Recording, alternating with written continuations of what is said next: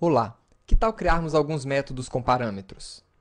Você foi contratado para construir uma aplicação bancária e a primeira classe projetada foi a classe conta, com os atributos cliente e saldo da conta.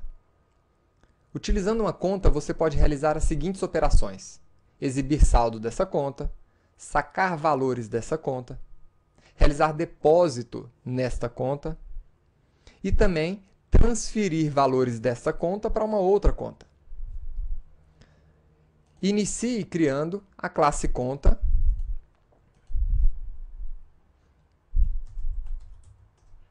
E uma outra classe para testar essa conta, que vamos chamar aqui de conta teste. Marque a opção public static void main para que ele possa criar o método main que vai ser usado para testar a classe conta. Os métodos eles são construídos usando modificadores, que vamos ver daqui duas aulas. O tipo de retorno, e quando o método não retorna nada, você utiliza a palavra-chave void. Seguido do nome do método, e entre parênteses, você pode ou não ter argumentos. Sem argumentos, você não coloca nada entre os parênteses, e pode ter um ou mais argumentos. Dentro das chaves, nós informamos o corpo do método. Então, como o objetivo da classe conta_teste é testar a classe conta, vamos iniciar criando uma conta. Utilizando a palavra x, new, nós chamamos aqui a nossa classe conta para construir uma conta nova. Agora, dentro da especificação de conta, nós vimos os atributos cliente e saldo. Implemente esses dois atributos.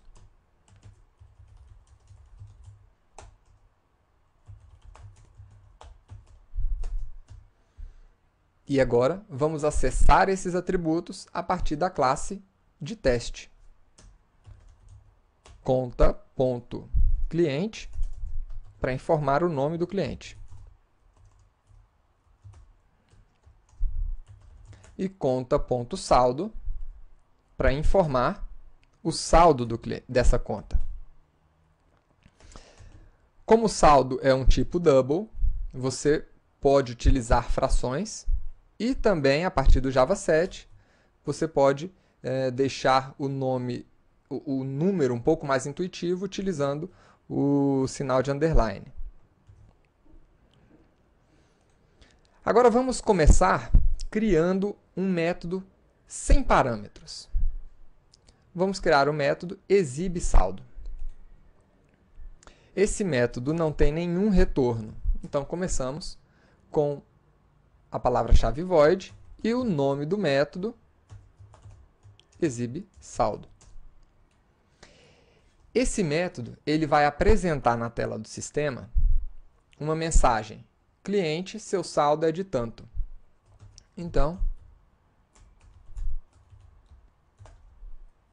imprimindo aqui na tela do sistema a mensagem cliente, seu saldo é e o valor do saldo. Como nós temos a variável cliente da nossa classe conta, nós podemos aqui cliente concatenar o valor de cliente para apresentar o nome do cliente e o valor do saldo aqui no final da nossa mensagem. Vamos testar esse método. Exibe saldo. E agora clique aqui na setinha dentro da bolinha verde para executar uh, a sua classe conta teste. E está aqui, Ricardo, seu saldo é 10 mil.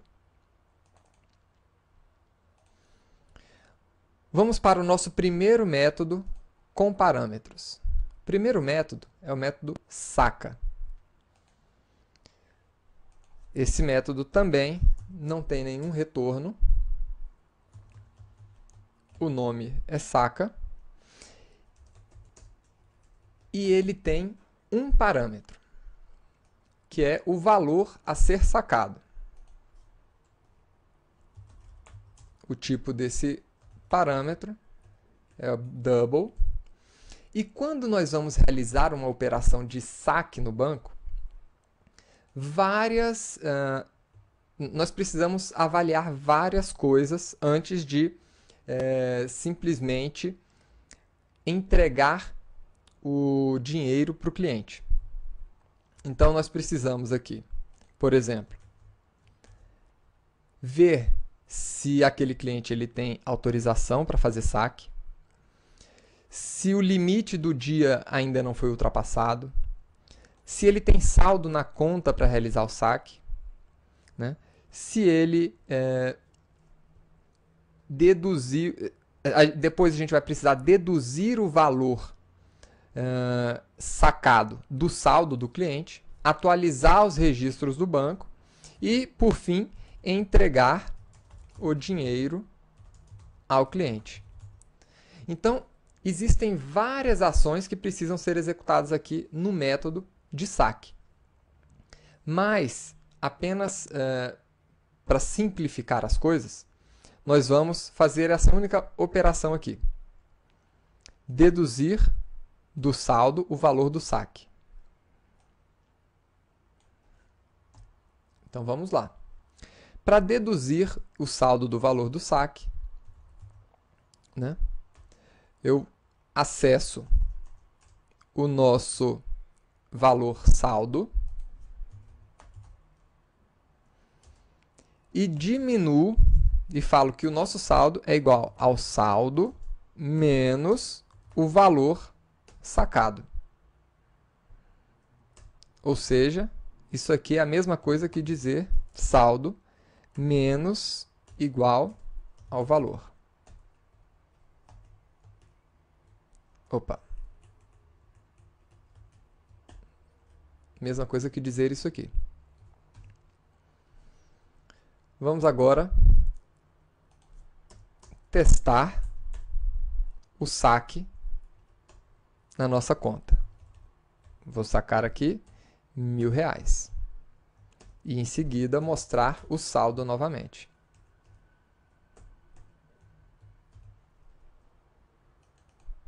Faça o teste. Tá aí. O saldo inicial era 10 mil, depois do saque passou a ser 9 mil. Uma outra operação que temos aqui na especificação, ou seja, no nosso projeto, é o método de depósito. Então, esse método ele também recebe um valor de depósito. Void deposita e o nosso parâmetro, que é o valor a ser depositado nessa conta. Da mesma forma que no saque, também no depósito, a gente precisa avaliar algumas coisas. Mas vamos simplificar o método apenas adicionando ao saldo o valor que foi depositado.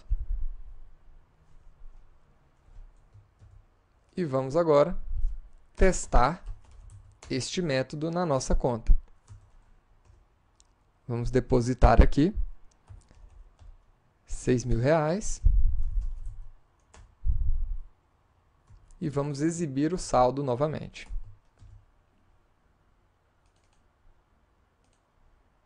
Então tá aí.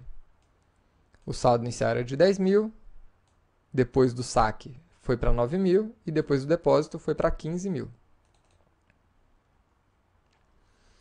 E por último, vamos agora criar um método com dois parâmetros.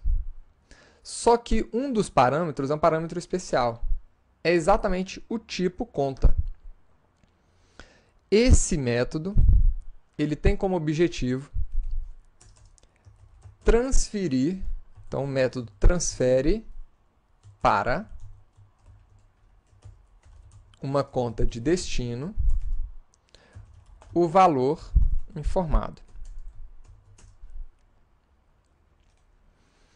Então, o que, que nós precisamos fazer aqui? Dentro desse método de transferência, nós também precisamos fazer toda aquela, toda aquela verificação. Ver se o, a pessoa que está operando essa conta tem autorização para fazer essa transferência, ver se a conta tem limite para poder realizar essa transferência, né? se o limite do dia ainda não foi ultrapassado, se a conta tem saldo. Né? Depois disso, você vai ter que deduzir dessa conta esse valor. Né? Você vai ter que atualizar os registros no banco, informar para o usuário que você fez essa, é, é, essa, esse saque da conta dele. Depois você vai ter que transferir esse valor para outra conta, né? ver se a outra conta existe e assim por diante. Então tem é, várias operações que precisam ser executadas é, para que isso aqui aconteça de uma forma correta. Mas, por, é, por, por sorte, você já implementou cada uma dessas regras nesses dois métodos. No método de saque e no método de depósito. Então, no final das contas, você precisa apenas sacar dessa conta atual o valor que está sendo transferido e depositar na conta de destino aquele valor. Então, a classe corrente, essa classe, ou o objeto corrente, pode ser referenciado pela palavra-chave this. Então, this significa esta conta. Então, desta conta, eu quero realizar o saque do valor informado. E na conta de destino, eu quero realizar o depósito do valor informado. Então, a nossa implementação ficaria assim. Vamos agora testar esse método. Para testar esse método, nós vamos precisar criar duas contas. A nossa conta e a nossa conta de destino.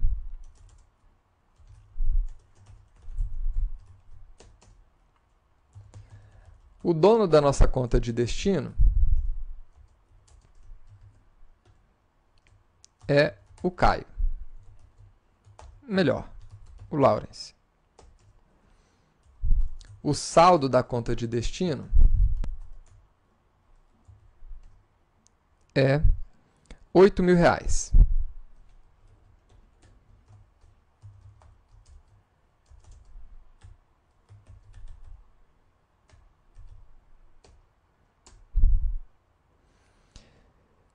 E aqui vamos exibir o saldo dessa conta também.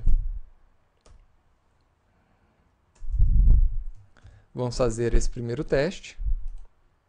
Tá aí. Então, na primeira conta temos 10 mil, na segunda temos 8 mil.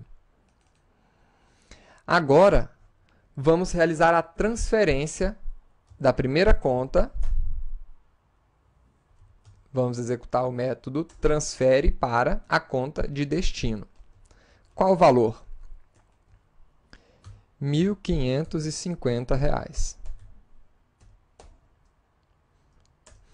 E agora vamos ver o saldo das duas contas.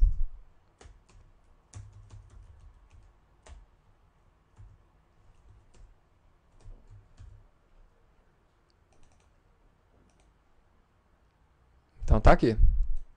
O saldo inicial da primeira conta era de 10 mil, da segunda 8 mil. Após a transferência, a primeira conta passou a ter um saldo de 8.450 e a segunda de 9.550. Na próxima aula, vamos trabalhar com métodos com retorno. Vejo você na próxima aula. E até lá!